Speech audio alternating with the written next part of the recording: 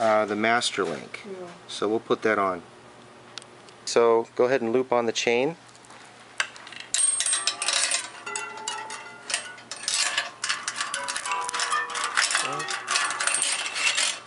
This is pre-cut, 158 links, including the master link. Okay, and then just looping on the front. Now we have it wrapped around, and now we're going to connect it with the master link. Okay, here's here is the master link. We're going to connect the two ends of the chain. Go ahead. Go ahead.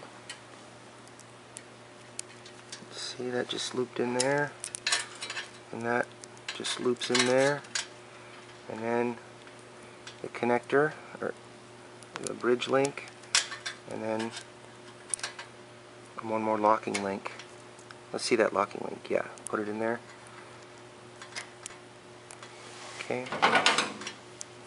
Just take a flathead screwdriver and just kind of jam it back. It snaps into place. And it looks like that. Okay, now we're just going to uh, pull the uh, coaster